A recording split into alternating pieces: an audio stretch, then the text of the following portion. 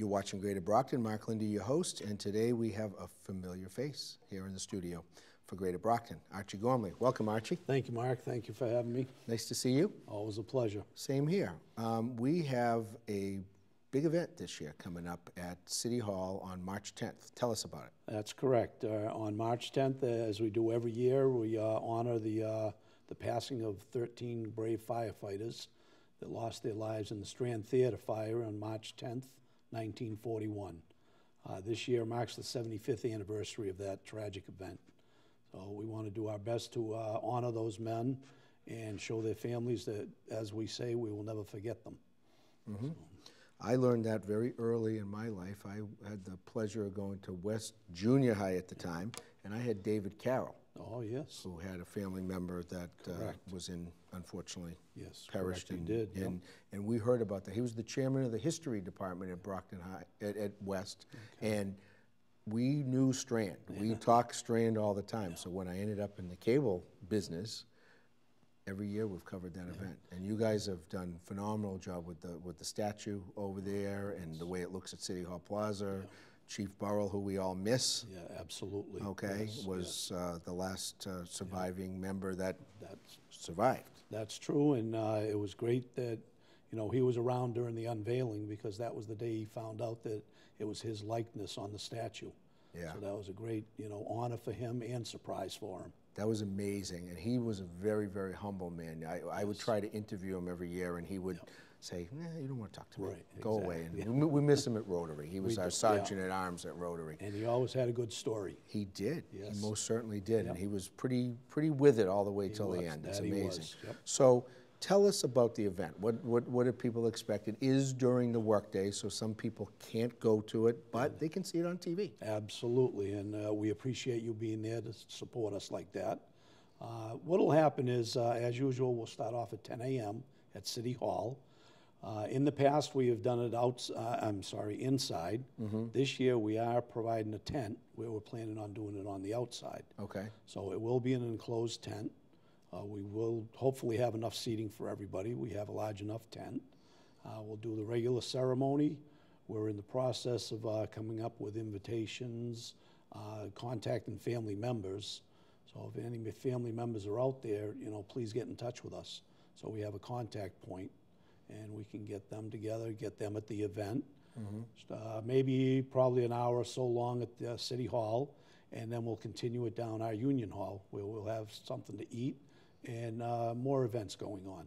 And you even get to see half a fire engine over there. Uh, Absolutely. Sticking out of the wall. Yep, It's pretty cool. I like It your, is. I like Wow. your, your, your uh, venue there. Well, our membership did a lot of work when we bought that, as they did with this monument here. You know, Lieutenant Richie Baker, he grabbed the bull by the horns, as they say, spearheaded the event, and uh, after seven long years of digging and clawing and everything, we have that beautiful monument at City Hall. So 75 years. Wow, that's that's Yes. quite uh, extended because I, you know, the, the paper has always put out the pictures of the past, and I remember a couple of times when I was a kid, special sections on it. Is there any kind of a booklet for the 75th? Uh, There will or- be, and we will have it uh, ready for that day at the uh, event itself. Okay.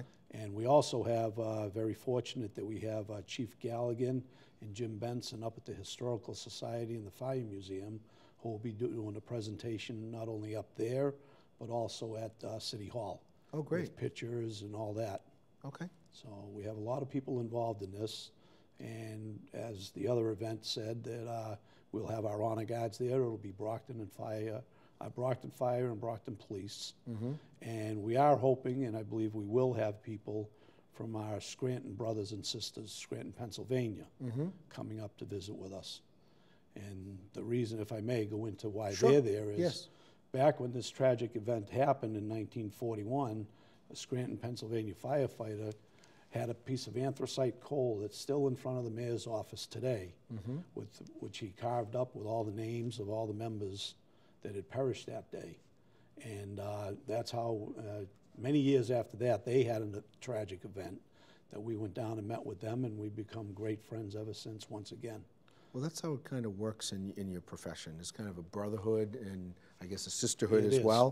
Where if yes. there's an event or a tragedy, that's what mutual aid's all about. Yep. That's what, um, I know people went down 9/11 from Absolutely, yes. Brockton, um, marathon, things like that. Um, you know, I- I think that's why people honor and respect firefighters because they're always out there to help. Who, who, who doesn't like a firefighter? Come on. Well, we, we try to do the same thing with the people we go and help, you know? Mm-hmm. We want to honor and respect them also, you know, because we know they're going through a bad situation.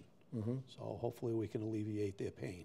Changed quite a bit. It's not all about fighting fires now. You're dealing, No, you're dealing with things like the opioid ec- epidemic with the Narcan on, on different, uh, I didn't even know what that was Yeah.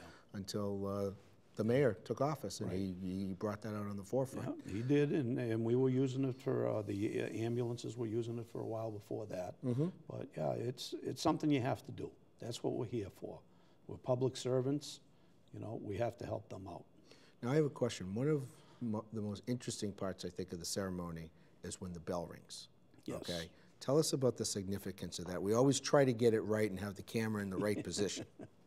Well, the bell is basically, we, uh, when I read off the names, and I'm very fortunate being the president, I get to read the names, and it's, it still sends the, the chill up your back. You know, but after each name, you give them the dedication of ringing a bell. Uh, And uh, at the end of the ceremony, we ring the bell a number of times, and basically that's the uh, come home bell, as they call it. You know, and that's what they're doing. They've gone home. So we honor them that way. Well, I'm glad you keep the memory alive. We're happy to be part of it every year and just keep doing what you're doing. Well, thank you very much, and we hope to, that's for sure. So the Strand 75th Anniversary Memorial Ceremony will be on March 10th at 10 o'clock at Brockton City Hall.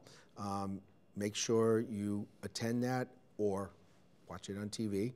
Make sure you know about the history of the tragedy here in Brockton, which had been one of the largest losses of life. And uh, after you've done all that, you can, uh, a couple days later, you can go to the St. Patrick's Day Mass for the public safety officials here in the City of Champions on March 12th. You're watching Greater Brockton. Mark Linde, your host. Stay tuned for more events, places, people, and faces right here in the City of Champions.